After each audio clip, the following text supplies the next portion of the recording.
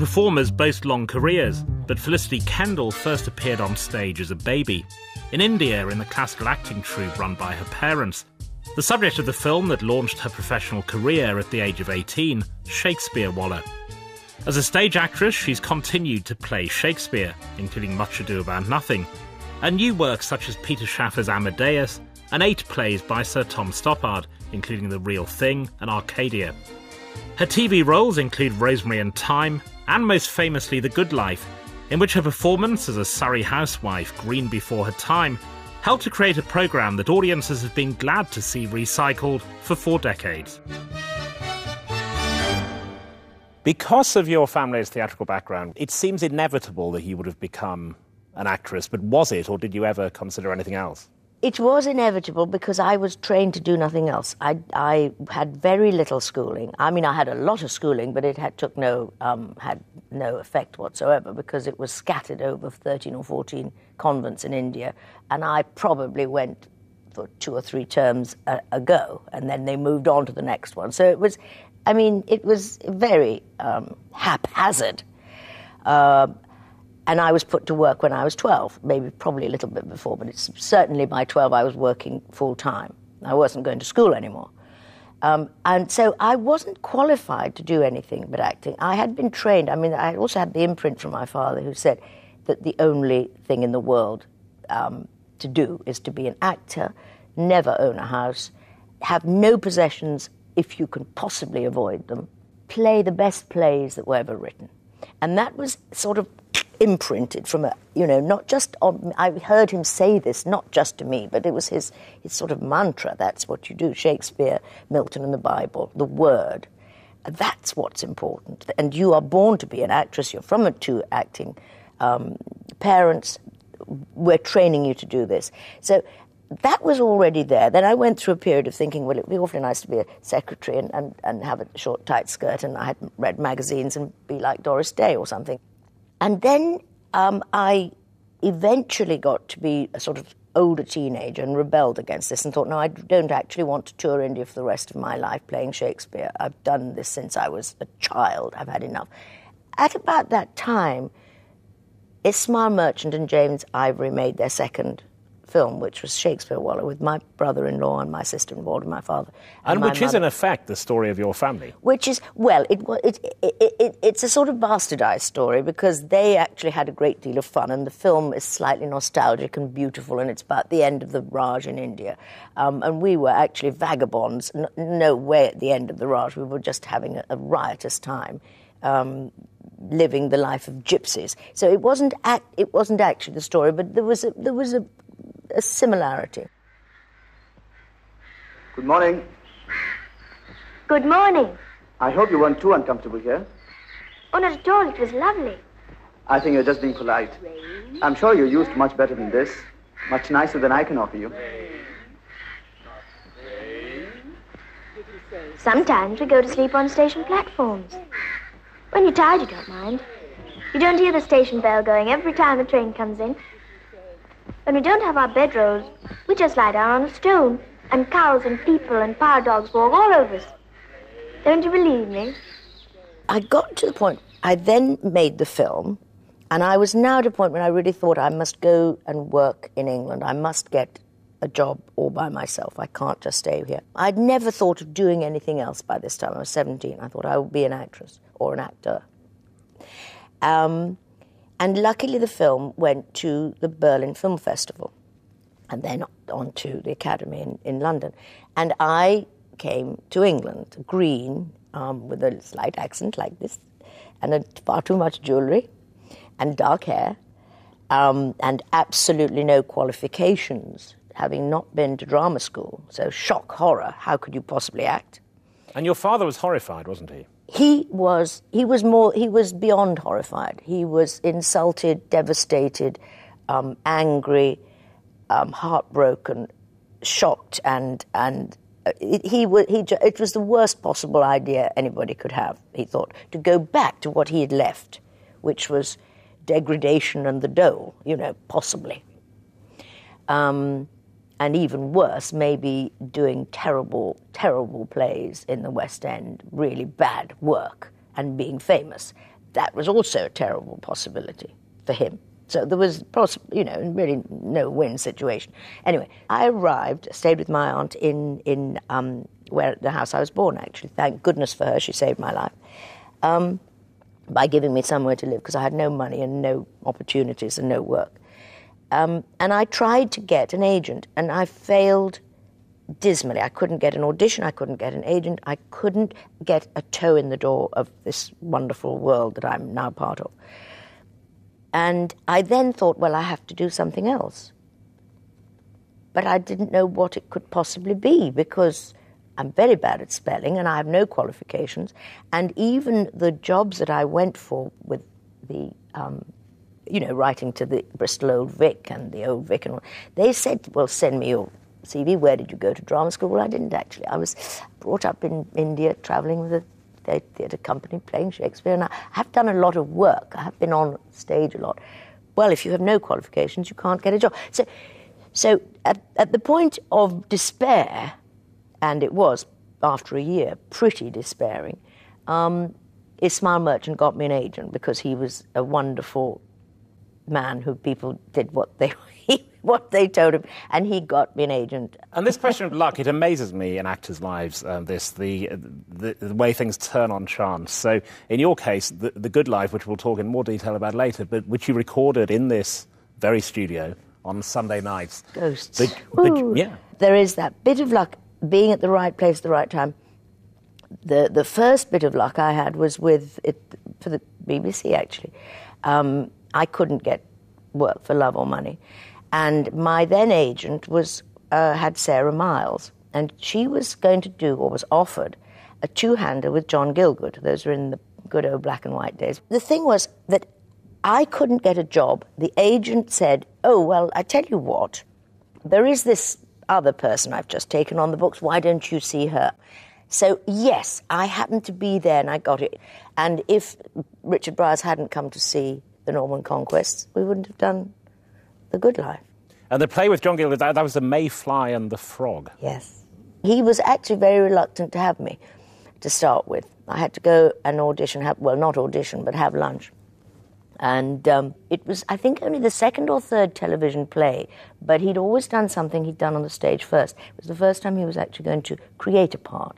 And he wanted to be surrounded by actors that he trusted and knew, not some young person from India who he'd no idea if I'd ever been on a stage before. Um, anyway, I went and had lunch with him, and he was. I just fell in love with him, charmed beyond belief, and we did the Mayfly and the Frog. And I was a little plump, and the director said to me, "Well, you can have this part, but you've got to lose half a stone and go blonde," because I was quite dark. So I lost half a stone and went blonde, and that's, that, that's the rest been, is history. And yeah. the rest is history. Don't worry, you're safe with me. What about my 25 bob? I never give money away under any circumstances. Now I'm going to show you my paintings. I've already seen your etchings. Don't be impertinent. I'm going to show you my paintings because they happen to be just on the way to the front door. When I interviewed David Dimbleby recently, who came from a different kind of showbiz dynasty, he said that in his later years, he slightly regretted the inevitability of it all, that he went into his father's profession, because it's as if he never actually made any decisions about his own life. Have you ever felt that? Well, I think there was a point when I felt I wished I hadn't this hadn't been imposed on me because I couldn't do it and I couldn't do anything else and I was not qualified and I was angry. And round about that time, and I was living with my aunt in Olton, I went to see Timon of Athens with Paul Scofield at Stratford. And I saw matinee, and then I went back to see the next matinee in the week because I couldn't believe the wonder of that performance and the magic of the theatre. And I had not, I'd been in plays all my life with my father's, you know, potted touring company on desks and in little halls and all over the place and beautiful theatres sometimes. But I hadn't actually seen great acting. Um, and I would say, with, with all honesty, that, that that was the week that I knew no, he was right, this is the world I want to belong to. I just want to be in that space with this kind of magical world where you can, for some reason that you can't explain, one person can control nearly a thousand people. And then amazingly, it's only about 15 years later, you were actually acting with Paul Scofield in Amadeus and Othello at the National Theatre. Yes. Spooky. It was a bit spooky. It was spooky. He was, again, an extraordinary, extraordinary actor to work with on the stage. He was so incredibly relaxed. We should talk um, more about your childhood in India. Um, it seems, people have seen Shakespeare, of people have read uh, White Cargo, the memoir. It seems extraordinary and exotic, your childhood, but does it seem so to you, or was it, is it just normal to you? It didn't seem exotic at the time. I thought it was very normal, um, and I was a very I think my reactions to it were like any child. Sometimes it was fun, and sometimes it was boring beyond belief to have to get up at five and get on a train. Um, I, have taken with me an amazing ability to travel. I love that. I find nothing easier than getting up in the morning and going somewhere else with a lot of luggage or with no luggage. Um, but I didn't realize how magical it was. I think it was a, gift um, that was probably almost unique for, for, for a child. Uh, for, for many reasons. One, because I was traveling all over India to some of the most beautiful places in the world. In the evenings, I was listening to Shakespeare, Sleep in the Wings. Um, so I had this incredible education, if you like, of, of language. Um, I was then surrounded by a group of completely potty, um, m- mismatched in some ways, multicultural, um, politically incorrect people um, who I was with 24 7, apart from the odd moment when I went to work. I also traveled with a menagerie of animals because th- that's what I wanted. So they let me a cat and, and, and um, dogs and mice and birds and, I mean, ridiculous. But it was free absolutely free. And sometimes I, you, I, would be out in a field somewhere where they would be working, and I would be playing with the local goat. I remember doing things like climbing trees, eating um, fruit in the trees because I knew what was a guava or something because I knew what was there. So this extraordinary combination of being in touch with nature, being physically very comfortable because it's always warm, having very few restrictions except for the fact that you had to do the, work. When, when I had to work, I had to work, so there were restrictions. But it was, and then suddenly going overnight on a, on a, on a bouncy bus all the way up to Simla with a lot of actors getting pissed and screaming and laughing and singing, and, and then arriving and having to do the Merchant of Venice in the morning. Um, it, it was unusual, and I think I was very, very privileged to have that childhood, though I didn't appreciate it at the time. You also saw both, um, uh, or two sides of India, because you say in White Cargo, sometimes first class and sometimes third class on the train, depending on the, um, uh, how the debts were. The, the, the difference between the, the weeks would be one week would, we would be living with the Maharaja in Udaipur in the palace, and host we were being um, guests of. Um, and the next week would be in some dark bungalow with the cockroaches coming out and the, the snakes running around in the loo. Um, and we would have absolutely no money at all, or there would be suddenly a terrible scourge of, of influenza, and all the the cities or towns would close down the schools, and we had no money. So we would be stuck in some ghastly little hotel. You you cannot describe how ghastly it can be if unless you've been through that. But it was a gypsy like, I guess. Kendal was a theatrical pseudonym. The family name was Bragg. Now, um, a great Cumbrian name carried on Absolutely. by Lord Melvyn Bragg of Wigton. Yes. But um, was, was, there? You're not related yes, to those. we are. Bragg. You are. W- uh, yes, he found out. It's quite, quite far back, but it's certainly there is a connection somewhere. Um, no, my my d- father was born in Kendal, uh, and he was eventually a very young actor who became an actor manager. And in those days, you had to have a posh name, and Bragg was not a posh name. I mean, it was at the point, even with Maggie Smith, she was brave at that period not to change her name because Maggie and Smith Of course, now it's absolutely magical. But he thought that Bragg was not thing, so he thought I need a, I need a more romantic name if I'm going to be an actor, and he changed his name to Kendal. And he'd taken a very bold decision. I mean, he, from the account in White Cargo, he seems to have been a very bold and determined man. But in, in the 1930s, in Britain in the Depression, as, as a young actor with your mother, he, he immediately he wanted to set up a theatre company. That was always what he wanted to do. I think they, my, my parents met when they were both working in some in another company, and they were very very young. And he fell in love with her. He said she came in in a white coat and a little beret, and he fell in love with her on the spot, and that was it. Um, and they were very young, and they fell in love. And then they thought, oh well, they will start their own company, and they toured Redditch and Bath and all the um, Hull and everywhere. And um, then I think he, the war eventually came out, and he was a conscientious objector. He didn't think that he wanted to kill anyone or be killed. Probably more the latter, and uh, and that didn't go down very well. So he thought, all right, well, I work, can't be a conscientious. They'd put me in jail. So let's join ENSA. So they went to India with ENSA during the war. The military entertainment every night something awful, as they every night something awful, and I'm sure I'm sure they both fell in love with India, and they played the cantonments in the army barracks and, and some of the public um, beautiful theatres there. And so when they came back after the war to the depression, if you like, and cold and gloomy and rationing, and he just thought, I can't, we can't do this anymore. We've got to go back. So he went. With, I was just born after the war, and he, I was a little baby, and he went back for three or four months and did a little bit of a tour.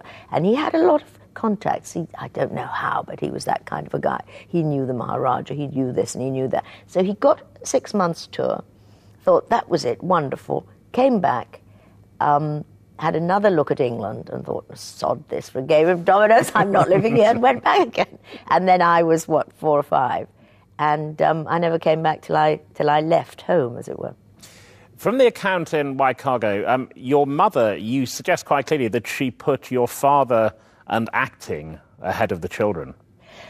She was a very um, strong woman who didn't look very pretty, small, um, quite delicate little creature, but she had she was really a little iron lady, um, and she had to make. I think she had to make a decision at one point when when they left uh, to go to India during the war. My sister was older, and she had to make a decision. She either went with my father and joined ENSA, and spent. She didn't know then whether it would be three. They didn't know where they were going. They, they couldn't, you know, ring back and say, by the way, I'm in Delhi. They, they literally went abroad and nobody at home knew what happened because of secret war and all that. Um, and she had to make a decision between leaving my sister, who was 12, and leaving um, my father. And she chose to go with him. So I guess Sophie's choice in a way, but for her not. And all her life she did have the you uh, you absolutely knew that she was his sidekick. She was his partner. She was going to stand by him, whatever he did. There is there's a detail beloved of um, profile writers, and I can understand why that you have almost literally spent your life on stage because you were you did play a part even as a baby. They used you in a production. Oh, I think I was brought on when I was months old as the changeling boy in Midsummer Night's Dream. It's the traditional one. You bring on a, you know, you just put it in a basket. And I had to be somewhere. My mother was feeding me, so I was. That's what I played. You learned subsequently from Paul Scofield and other people you acted with. Did you learn from your father as an actor? I mean, did he tra- did he formally instruct you in things? I think I learned from my some things from my father and I learned some things from my mother. I think the, the main thing that he had when I started was that you, the whole point is your sound. The sound you make is your instrument, and that is how you will control the audience, that is how you will convey what you feel. And my mother was very, very keen on elocution, so you, you don't slide down at the end of a line, I'm, I'm coming to tea tomorrow. I'm coming to tea tomorrow. Those sort of little, and all sort of little tips and things of again you don't start you know if that if those that's the wings i mean this is drama school stuff but if the wings are there and you're going to come on you don't start acting here you start way behind So that by the time you're on, you're already way into it. It's too late to go on and start. Things like that, that are just basic rules. And that, as we said, your, your training as an actor was being in your parents' company and in India and other places. Have you ever fantasized about three years of RADA, four years in weekly rep, that it would have been better? Or are you, I mean, are you, you're satisfied that that was your education? I'm not sure I've thought about that very often, but thinking about it now, I wouldn't have changed the the training I got as an apprentice. I think, in fact, I, I find it rather sad the way it's the, the, extreme now is the only way into the business is through a school. Um, and the apprenticeship, which used to be there even after drama school in the big companies, where the young actors could go and watch Scofield and carry a tray where watch Vanessa Redgrave and Maggie Smith and Peggy Ashcroft and just be on the stage with them with these greats. And you learn I mean, you copy, but there's nothing wrong with copying the greats. Um, and that is not available, that apprenticeship. So my reaction is no, I was really lucky to have an apprenticeship of, of, of hours and years of learning how to put a wig on, learning how to make up, learning how to polish the props, learning how to take, you know, I was backstage doing, doing stage management for ever when I was little, in between going to school. So after the success of Shakespeare Wallah, you come back to England. This is your portrait from White Cargo of yourself um, at that time when you came back to England. I had come to India as a tiny child. I could eat hot chilies. I spoke fluent Hindi. But at 18, I had never been near a pair of stockings, owned a coat, or worn gloves. My history lessons were of Nur Jahan and the great Mughal Empire. So you were, you were in effect an Indian when you came back. Oh, absolutely. Absolutely. I'd grown up speaking. I mean, I, I can speak it's it's not perfect, but I have no accent. I have a, a very good accent. I don't have an English accent when I speak Hindi. Um, and all the, the, the coats and the bits that you need, I couldn't cope with it. I just didn't understand it.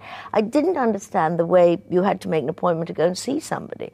Um, you didn't just turn up and they say, "Come and have lunch."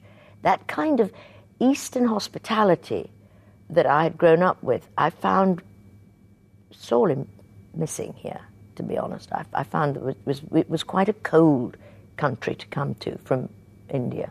Although the paradox of this is that quite early on, the lazy description from critics, and theatre critics, and journalists would be how English you were, the typically English actress. And I yet, know. so was, but was there a kind of going into the phone box and transforming moment? My my mother and my father spoke what they called the Queen's English. So, though I had an accent with my friends and in India, I, my mother's English was was was very 40s, I guess. It was that kind of slightly um, plummy. And the big, um, it really took off in the uh, mid 70s because of that double with Alan Ayckbourn's Norman Conquest um, and The Good Life.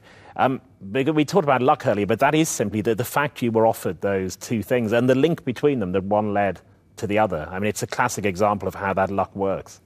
It worked. Yes, it was. It was luck. It was also, um, and Penny was in the Norman Conquest as well. Penelope Keith, yeah. Penelope Keith. But I think it was one of those things that just happened, and um, Richard Briers came, and then he came back with the director, um, and they said, "Well, if you know, there's Penny, the next door neighbour. That's absolutely perfect. And I remember um, Richard Dickey, as I call him, coming into the dressing room after the show and saying, "It was very good, and I have a script, but it's not going to be very successful." He was, of course, you know, a huge star eh, for the BBC then. I mean, huge, huge, huge. And I certainly wasn't. Neither was Penny, and and Paul Eddington wasn't either. And it was all hanging on, on Dicky. And he said, Well, I just wanted to know, I don't think it's going to be like my other series, long running and wonderful. Don't get your hopes up because it's a quirky little idea that a very few people might like. But I like the script. I think it's funny. So I'm going to send you a script and you, would you like to read it? And that was how we started, not thinking in, this, in any, I mean, hundred pounds or something I got, not thinking in any way that it would go on. It was literally for the love of those seven scripts. And The Good Life, John Esmonde and Bob Larbey, when you read that first script, um, did, you, did you see her immediately, Barbara? No. Uh, what I saw was I want to work with Richard Briers. I mean, it was as simple as that. And I thought, right, I've seen a lot of the things he'd done, and I thought to be actually cast opposite him so I can work with him. It's always been something that's been really, really, really important to me. It's not so much the part, but the, the writing and who I'm working with. And all the way through my life so far, um, things have worked out well for me when I've loved the script and I've worked well with the actors. And that's, th- those are the choices I made, and that was certainly the, the case. I thought it was a very good script, very funny, very witty, very um, economic, if you like, and I wanted to work with Richard Briers. It's been quite useful, was it? That was very useful. He hated them. Dickie, he, two or three things that he hates in his life, and then how he managed to put up with a good life, I don't know. It was his idea of hell and mud. I mean, it's very funny. But we did laugh for years all together. It was an amazing, amazing, um, amazing group of people. But that's the interesting thing because on uh, some series, particularly in America, there's uh, jockeying between the actors and they want more money than the other one. And, but it was genuinely tranquil, was it, on The Good Life? I, I think one thing that made it tranquil, we were all theatre actors. And there is very much you, you there, there is a democracy in the theatre. There has to be because you you're reliant on some somebody else. Uh, Richard Briers, he um, had uh, trouble learning the lines, didn't he? I think he, Yeah, he he used did. to have them written around the set. He used to have them written in little slips um, behind the teapot or stuck onto a chicken or something. And what? and I mean, we did laugh all the time. It was it was too too too funny. I, I say this as a fact rather than a criticism. In, in, in sitcom acting, there isn't a lot of development, is there? I mean, it, it's clear watching those shows, you, Penelope Keith, Paul Eddington, Richard Briers, you had those characters down. Well, they did write for. I mean, Penny actually, Penelope's character was not in the first. I think one episode or so. She only spoke and she said Jerry or something like that. And the second one, she did a little bit, and they suddenly realised gold dust here. This is absolutely ha- cannot be the goods and then the next door people. It's got to be equal. All four people are as wonderful as each other. So they did, you know, they did start um, writing for us. And then because you're being, they're writing for what you do, you do it more easily. Um, there was, I was hard to believe, but there was a point, I think, when the two boys at one episode had to get very drunk on the wine that we'd made or some kind of stuff.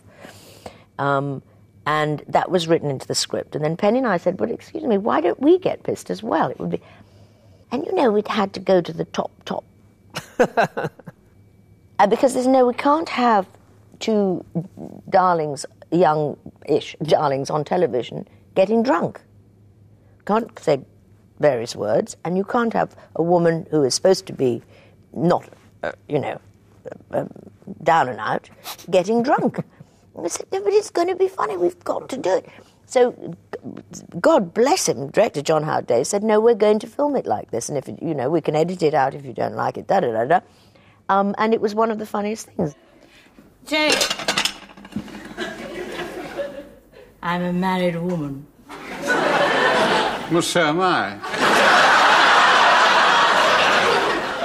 I still fancy you. Jane, you mustn't say things like that. It's very flattering, but you mustn't say things like that. Of course, one reads about it in the papers. What? Wife swapping. That's happened, you know. To give people a sense who don't perhaps um, recall it of how big The Good Life was, on one occasion you had to leave Studio 6, which we're in now, and go to the biggest of the BBC studios. Um, it seems astonishing now, this, but it's all recorded on film. The Queen attended a recording of it. Yes. Um, there was, the BBC did a special thing which they said they had, the, the Queen was going to attend, Her Majesty was going to attend with Prince Philip, was going to attend a live recording, and they chose, I'm not quite sure who chose, but they chose The Good Life as being the one they were going to come to. It is said that it's said that the palace asked for Well, the Good Life. that I don't know. Probably, if it's said, then it may may be true. So we were told, well, you're going to actually be in a bigger studio. Not only that, you're going to have to perform for the Queen, which of course I quite like, because my father absolutely was in his element. He thought it was wonderful, And the little corridors and the whole entrance of the BBC, that week, all you could see were men in white overalls painting and polishing. There were red carpets laid. The studio had sort of leather seats and bunting, if you please, and flowers everywhere. We couldn't, we didn't know where we were. We'd never seen anything like it. And of course, an invited audience that was going to be polite. And if they weren't polite, they were terrified because they could see that in front row, Her Majesty there was, was it, full tiara and evening dress. I mean, the, the works. And we were there with our goats and our, in our wellies. And it was a complete opposite of the audience that went, wow, when he, um, Dickie forgot his lines, or make silly, rude jokes about the other actor falling in the bucket. We couldn't do that because we were so afraid that we would say a rude swear word or something would happen. So we were all slightly stilted. However, once it started, it, it was it was a great, great show, but but it wasn't raucous in that that way. But it was it was it's an extraordinary thing to have done those recordings in a studio with a one uh, you know a sort of anoract audience in front of you random people, you know, picking their noses and laughing. And then suddenly all you can see are jewels and, and bunting. It was surreal. TV fame, it's an extraordinary thing. If you're in one of those really hit TV shows, such as The Good Life, people will recognize you forever, um, essentially. But that's something you had to adjust to was the, the level of public recognition after that. Yes, it came very quickly, quite early. Um, I think, in one sense, it wasn't too obtrusive, obtrusive because they loved the character. So instead of being aggressive, which um, and and or sort of yeah yeah yeah, it was all oh, the same it, endlessly in Marks. I thought you made your own soup. I thought you grew your own cabbages. Why are you buying a chicken? I thought that it was always the same line, and you just got used to it. It was banter. Um, but that was that was quite quite um, quite sudden that that happened to me, and you don't get that in that kind of recognition unless you're on television every week. Um, and I think probably the thing that's unusual about The Good Life is that it's still being shown, mm. so that continues. Mind you, somebody did ask me the other day, "Are you still working?" yes. Have you ever become irritated by the, the durability of The Good Life? I think I went through a, a, phase where I was, but it was about a week. Um, and I'm not quite sure why, but it was like, oh, I think it, I know what it was. It was I'd just done something which I was incredibly proud of, which was uh, two plays in a row over two years, and it, and it was good work. And um, I did an interview, and nobody wanted to know about them. They, all they wanted to talk about was a good life. I thought, oh, come on, you know, get up to date. That was then, and I'm not like that. I'm not sweet and funny and milking goats anymore. So yes, it lasted a week, and then after that, it it, it, it sort of turned because I thought how extraordinary to have done some work that people are still watching. Um, and also, when I flick it on sometimes, which I, I, I don't I don't think I've ever watched a, an episode right through. But you're scrolling down, saying, "Well, what, what what fun can I have tonight?" And there it is, The Good Life. And I just have a quick peek, and I look at it, thinking it's going to be embarrassing. And it's it's it, it's extraordinary. The scripts are so good, and the other three. I mean, I hate myself, but I always did. Um, and the other three so, and it's very very well done. So, how nice is that that it's still there? Uh, so you do hate watching yourself? Oh, I do. I don't. I don't watch. I probably should have done. It's too late now. oh, yeah, well, sure, we don't get much leisure time these days, but who needs it? I mean, take Margo and Jerry. You know, right now they're probably lolling about in their Swedish armchairs, sipping martinis, vegetating in front of their colour telly. Hubby, who'd swap for that? Of the roles that followed um, The Good Life, we, we, were talking about Amadeus and Othello at the National Theatre with Paul Scofield. Um, Clouds with Michael, Fra- Michael Frayn's play, yes. which you win with Tom Courtenay yeah. in the West End, which is significant because directed by Michael Rudman, who that's where you met him, and then you've subsequently, you've effectively been married twice. I'm not not married, but, but I'm back. Yes, you, my boyfriend. I call him my, I call him my boyfriend. Now. So he's been your hu- he's been your husband followed by a gap, and, it, and now your boyfriend. I can't remember how the offer came, but probably just through Michael Codron. And um, Who's a theatre producer? He's the theatre producer. And I loved Michael Frayn's play. And this was a play that had been done in Hampstead. And they said, Tom Courtenay. And I thought, wow, what a combination. And then I met Michael Rudman uh, and Tom Courtenay one evening. And I didn't think much of Michael um, because I thought he was rather American. I sort of slightly fell for him during that. And, um, but he wouldn't ask me out, which was rather cross making. Oh. Because I was in the play that he directed and he didn't think that was right. Anyway, so, um, but when it finished, he, we went out. And that was, that was, that was the next terrible chapter in my life. Terrible. No, no, no, no. Most of the, um, I mean, in, in the end, um, uh, most people meet their partner at work or at university. Those are the two places. But is, is it more likely in show business that?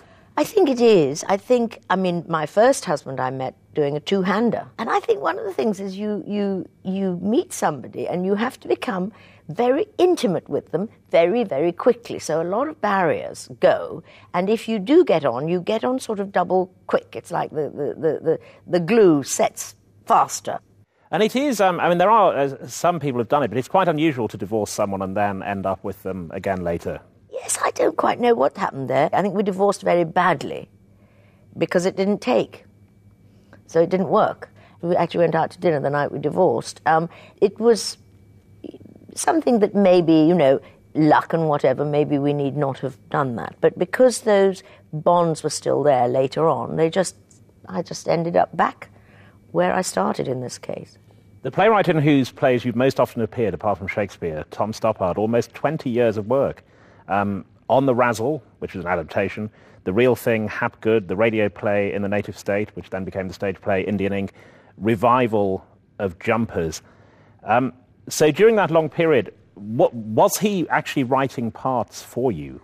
No, well, no, not at the beginning, no. Um, and then uh, Michael Codron, again, my champion producer when I was much younger, um, did Tom's next play, which was The Real Thing, which people think, or how I've read, was something to do with me. It had absolutely nothing to do with me. He wrote it before I hardly knew him. I mean, I might He's made that absolutely clear because it was Yes. a play about a playwright It's who. a- playwright and an actress. Actress. And I mean, it would be nice to an think, oh, yeah. that that's uh, you know art mirroring reality, but it, it it wasn't maybe reality mirroring art later, but certainly not. That was not the case. Um, I think he then, I would say the the, the, play that he wrote for me was Indian Ink. Um, because that really was related to India. He grew up in India. Um, that's to do with sisters, um, and that was definitely. It was actually, a, a- as you say, a radio play in the native state? in the native state, and it was. We did it with Peggy Ashcroft. It was amazing, um, and uh, funny story about that because we did it, and there's scene, you know, then she takes off all her clothes because it's hot, and the two instances in in a, accepting a play that I hadn't thought through, and one was I'd done the radio play, so when it became uh, uh, to go into the audition, the theatre, I thought, well, I've done it. Of course, I want to do it, and and only after having the thing, I thought. She takes her clothes off, which, of course, on radio is no problemo. It doesn't matter what you do on radio. You don't have to take them off, unless people think you do. You really don't.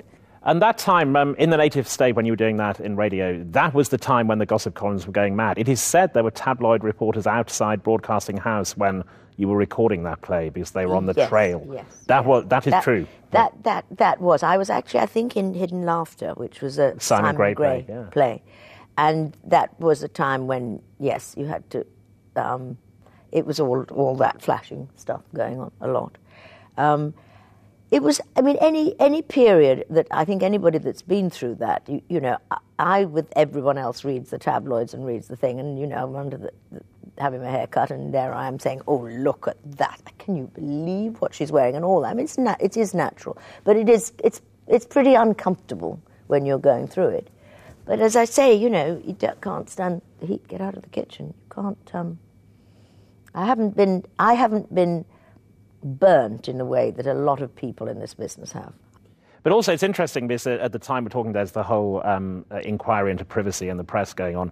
I mean, you and Tom Stoppard tried to keep it as private as possible. I mean, you, neither of you wanted to be in the papers with it, but I mean, it just in the end, it's impossible, isn't it? I think I think th- that it, it, any kind of friendship like that. I mean, the thing is that the combination of what people write and what is the truth, the somewhere in the middle is actually the truth, and and a lot of it is a waste of space trying to say, but excuse me, the real truth is this and this and this, because people may not believe it, and anyway, if something else is written, it's written.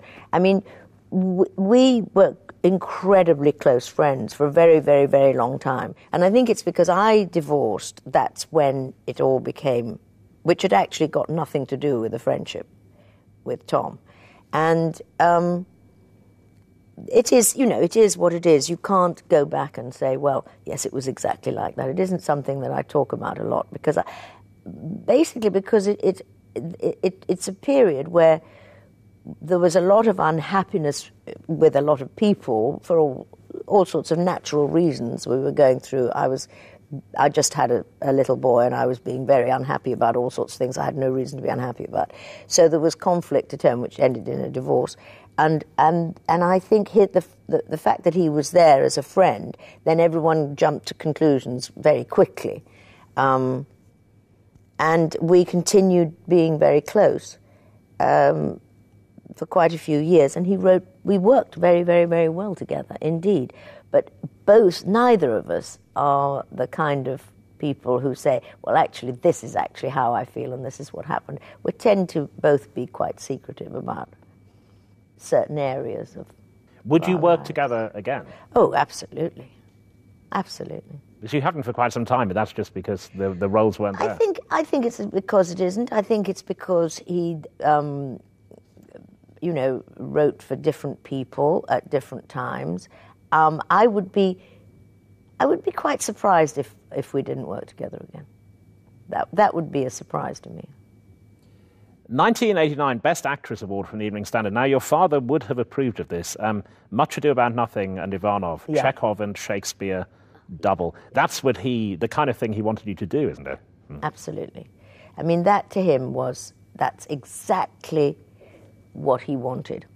Um, I remember I did something which got very good reviews, and it was it was some series a very long time ago, and he said, "This is not how you're going, is it?" And I well, then I auditioned for a film, which was a Bond film, which I didn't get, and he said, "Thank Christ for that." Which Bond film? I can't remember. It was one oh it was a, quite a long time ago. It was, was one of the Dolly Birds, which I was completely not right for. Um, and he said, "That's fantastic." I said, "Are you crazy?" But yes, that that was that's that was his idea. Do Shakespeare, um, and do it well. the problem The Good Life gave you was following it on TV, and there were various attempts. When you look at it now, you- worked through all the possible relationships a Yes. woman could have because there were the two Carla Lane shows. There was Solo, in which a woman, her boyfriend cheats on her, she's on her own. There was The Mistress, in which she's having an adulterous relationship with the woman. And then, which wasn't Carla Lane, it was Michael Aitkens um, Honey for Tea, in which you were playing a widow. And were you conscious you were going through the variations? I think I was. Um, I think in a way they were all too similar, even though they were different stories. I think I, I think looking back on it, what was wrong was that um, I was very successful at being slightly kooky. But I think what happened was that then, when when a script was written for me, it, they still tried to use some of the same um, ingredients in it, and because uh, I wasn't playing that part, it didn't quite work. And I think I would have been much cleverer to go for something a little bit, something more extremely different. And I think that was what was what was wrong. They were still quite cute little women, and as the years went on, people wanted something a little bit more challenging. Oh, you're back, are you? How do I feel? I feel fine, just fine. I attended to all my enemies, gave up my job, got three others, left them, and fell off my bike. I've completely confused my mother. She thinks I'm a lesbian. How do I feel? How do I feel? I feel frightened. It's also the bad side of TV fame, isn't it? That, um, according, I am told uh, by the BBC, that some of the audience reaction to the mistress was Barbara Good is having an affair. Oh, we can't. They didn't like that at all. They really didn't like that. In fact, I got quite a lot of rude letters saying, How can you play this kind of woman? As if, you know, I was letting Barbara Good down. Um, but as I say, even so, it was still quite funny and sweet. Whereas if that character had been edgy and aggressive, it would have removed itself from Barbara so much they wouldn't have objected. If that makes sense. I thought we'd take a weekend. Look, don't say anything. Just don't try and make up to me. Don't say a thing. When? Soon. Where? Anywhere. How? Somehow.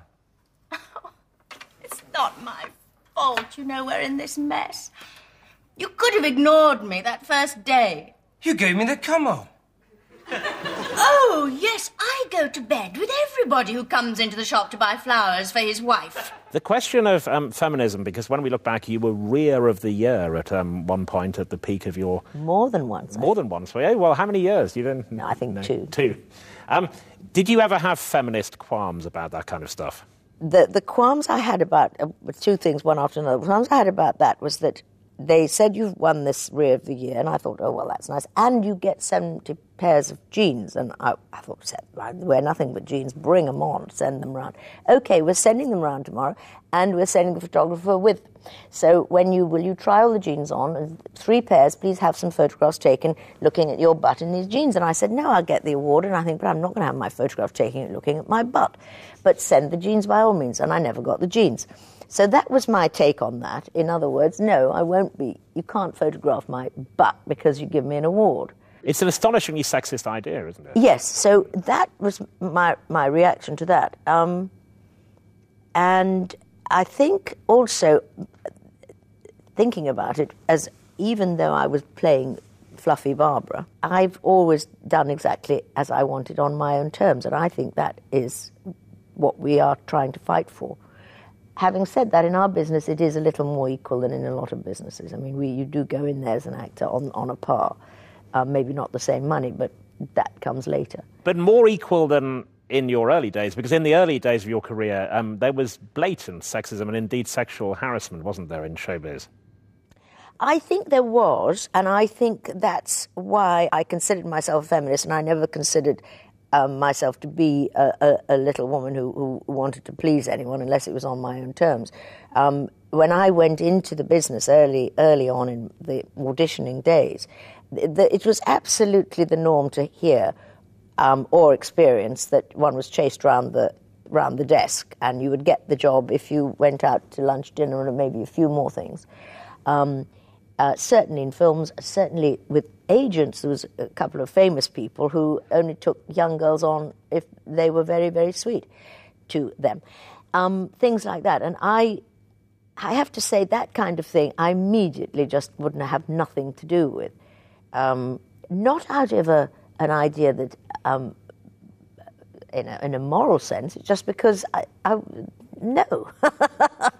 Looking at the roles you've played in theatre, um, new plays such as uh, Humble Boy by Charlotte Jones, uh, Vortex by Noel Coward, um, Revival, have you generally just waited to see what you were offered, or do you go out and seek roles? I, I usually wait and see, and I think the things that the, the plays that excite me, like Humble Boy, um, it's, it's writing, it's new writing, which is odd because I was told to do the old stuff. I have been asked now and again if I can think of something to do, and I, I, I really invariably can't. I, I can think of a hundred wonderful parts to play, a hundred wonderful plays to be in, but I've never got the courage ever to be one of those people to say, look, let's put this on, I'll be good in this, I'll make you money back. There are certain uh, types of roles that have recurred. Um, you've played a lot of drunks and a, a significant number of male roles. So um, you played the principal boy, as it were, in On the Razzle, and then Simon Gray, or one of the Simon Grays, uh, in The Last Cigarette, um, his final play he wrote with Hugh Whitemore. Um, so we can talk about why that is. So, so why, why so many drunks? You, you liked playing those? I don't know. I, oh, I, I just, well, I, I, it isn't that so many drunks, quite so many drunks. I mean, I did, in Amy's view, I got her drunker than I think she should have been um, because I like doing it. um, and I'm reasonably good at it. I just, I, it's, it's, it's quite a challenge to be pissed but not completely drunk.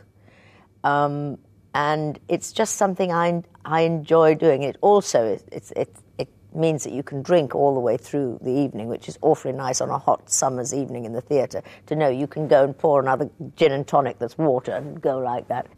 I don't know. It's very physically liberating as well to to be drunk, and maybe I just know what it feels like.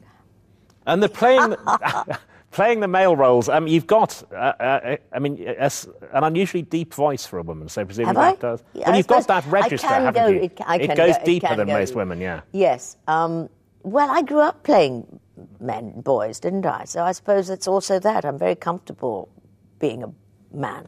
Um, that's how I started with Puck and all those Balthazars and, oh my goodness, all the. Yes, exactly. When the reviews of Shakespeare Wallah came out, we, we might have thought, if we'd bet, that you would have a, a more significant cinematic career than you have. Um, have you regretted that? Yes, in that, that I'm greedy. I mean, if I have something that I really do um, think I could have curbed by now, it's my. I always want more of everything that's going. Um, and I suppose now I wish I had more of a, have had more of a career in films. But then I go back to what I said earlier on. It's that one thing leads to another, and I very definitely chose to to always choose theatre or a play against something maybe more lucrative or further afield. I always chose not to go to Broadway, which for all sorts of reasons, usually to do with a child. Um, one could say was a mistake now, but it was my choice, and I had the time uh, with the, the, the, children. Um, so I can't say now, honestly, I don't. But on the other hand, I wouldn't have had, which I have had, um, the line of new plays, one after another after another, with these wonderful, wonderful modern writers, which, um, which I, I think in itself cancels out any regret. Strictly Come Dancing, some people uh, remain snobbish about um, these TV talent shows. Did you have any qualms about accepting? Um, well, I'm a bit of a groupie. I love that show anyway. And for me, I don't see that as a reality show in the same way because the things that I think are slightly insulting is making a, a, a tit of yourself, you know, in public, or making yourself, putting yourself up to be made to look an idiot or a fool. And that I think is degrading and, and you know, don't take the money, don't do it.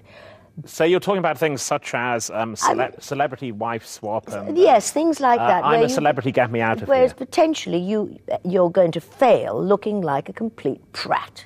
You know, the worst of your nature is going to be shown to a lot of people that don't know you, and your family may be very embarrassed. But that's that's the that's the possibility. The thing about Strictly that's different is you're learning a craft. Um, you're learning something with professional people, not just people filming you, but professional teachers. So that was something that I immediately wanted to do when they offered it. I, I, I, a lot of people said, Are you insane? I didn't regret a minute of it. I loved it. And you get so fit.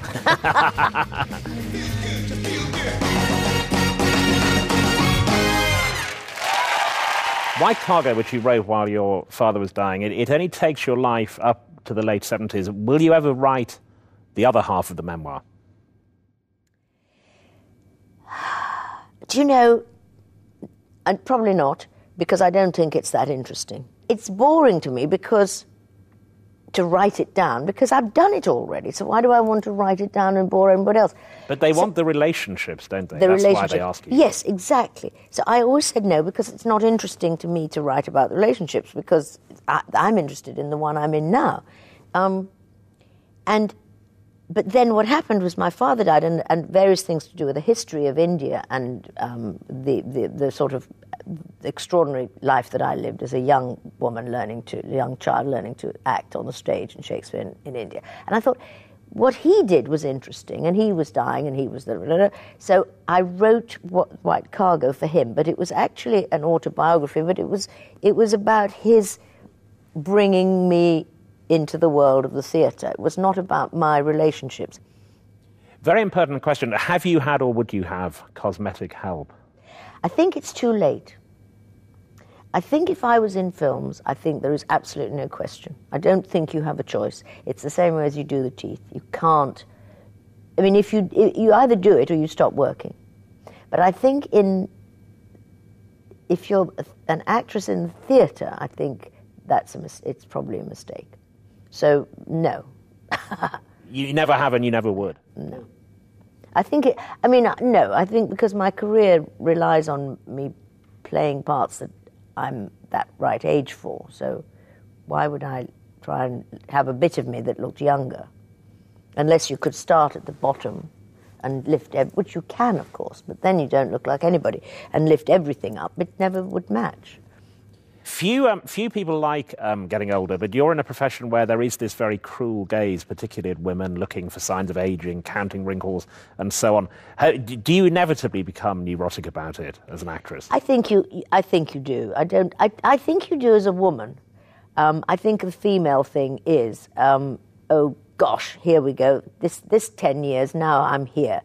Um, but I, I think when I was fifty, I was less happy to be fifty. Um, now I'm fifty-two.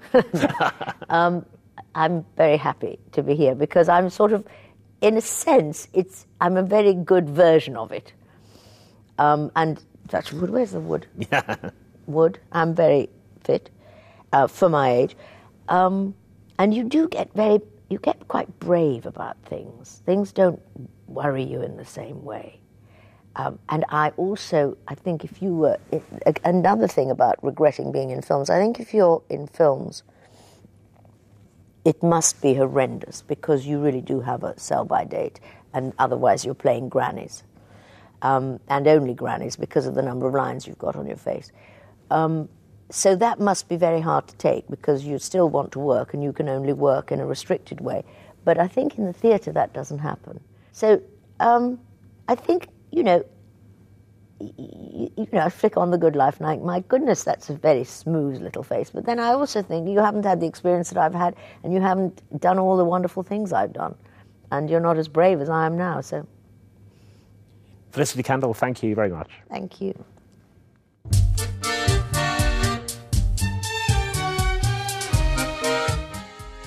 And Mark's talking to another great actress next weekend as he chats to Zoe Wanamaker about comedy, Shakespeare, and her remarkable theatrical heritage. That's here at 10:45 next Sunday.